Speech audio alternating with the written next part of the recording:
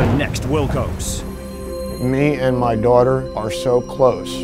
When your wife accused you of sleeping with your daughter, what was your reaction? Insanity.